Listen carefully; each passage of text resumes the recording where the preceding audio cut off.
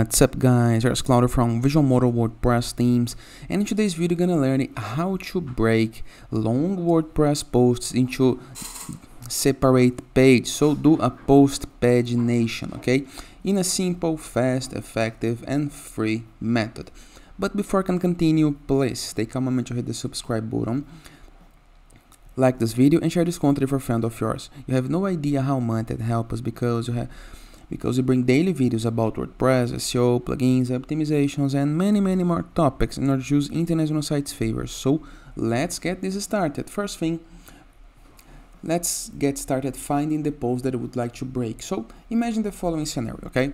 You have this very long WordPress post that looks almost like a book, okay? And you would like to break it into separate pages, just like this, okay? You have the page one, the page 2, the page 3, the page 4, okay? You have the post separated. How to do this?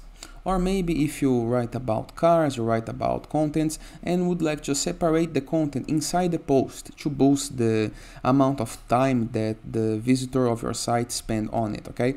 So have you ever seen into some news website when you are reading the notice and you need to click into a button to open the other part of the notice? It's almost like this, okay? How to do this?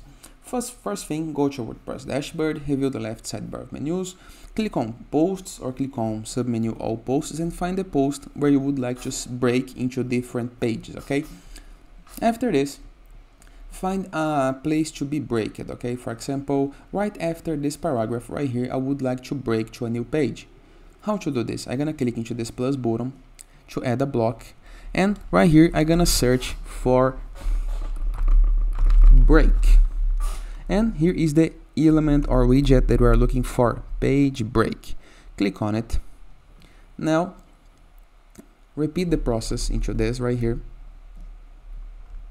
Page break into this page break.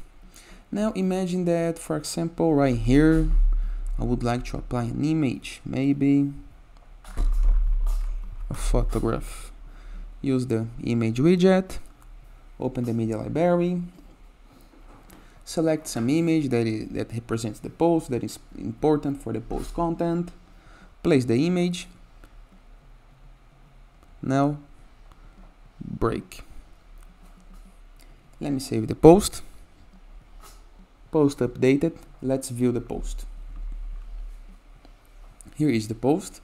And as you can see the post is have now the pagination okay? So we have break the post into five parts. The part one the part two that have the image the part three the part four and the part 5. Simple, right?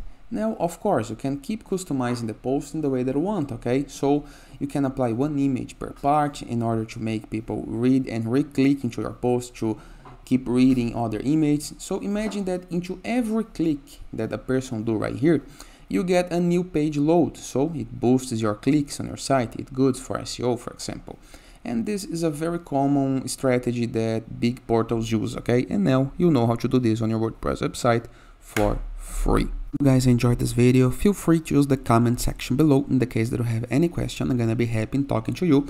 And please don't forget to check out our borderless wordpress plugin the best free WordPress plugin that when you install you gain widgets, elements, templates and tools to build up your site using Elementor, Gutenberg, WP Bakery and many many more extra features all for free downloaded on wordpress.org.